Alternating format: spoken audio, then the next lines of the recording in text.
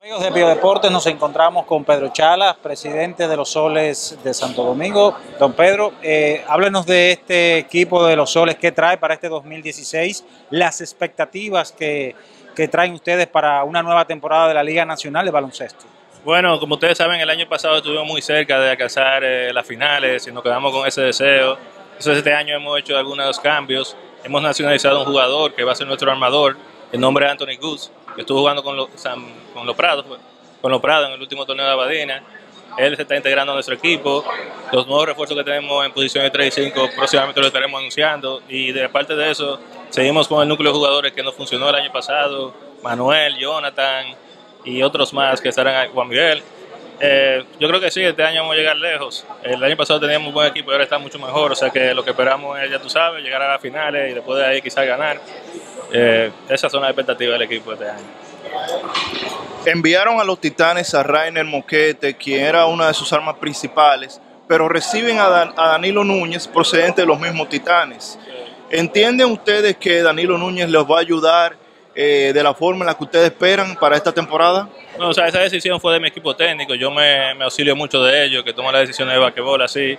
Al hacer ese cambio, ellos me explicaron que Danilo es un muchacho fajador, eh, Reiner es un gran muchacho, una gran persona eh, y tiene mucho talento, mucho futuro, pero nosotros estamos ya en una situación que queremos ganar ahora y creemos que Danilito va a ser una pieza, él es aguerrido así en el momento de juego, puede hacer una buena, bueno, él viniendo de la banca puede ayudarnos bastante, eh, esa es nuestra impresión de ese cambio. Y por qué lo hicimos, aparte de que él es de allá de Mauricio, eso va a ayudar con la fanaticada, eh, eso fue como el análisis en general que hicimos al hacer ese cambio.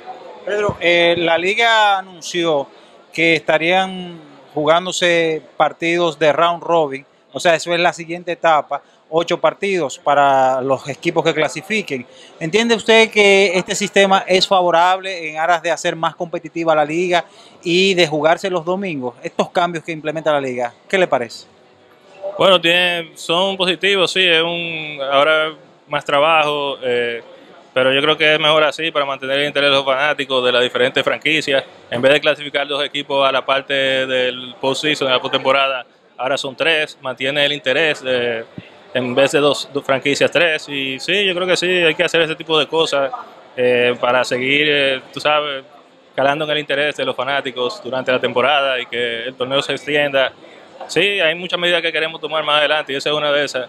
Hemos empezado ya este año con esas.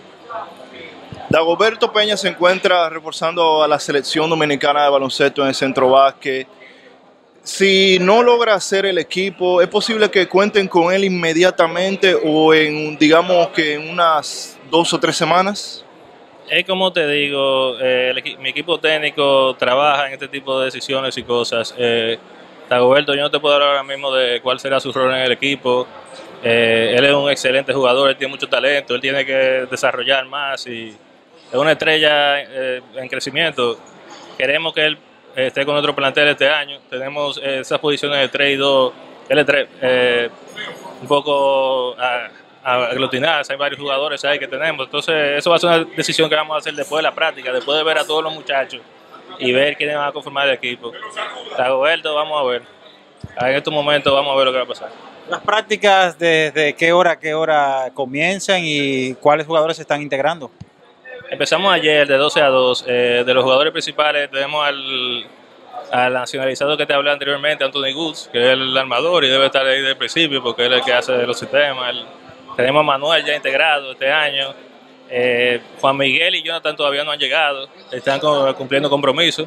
Y tenemos una serie de jugadores jóvenes que tenemos ahí de los reservas y otros invitados para ver qué podemos sacar de ahí.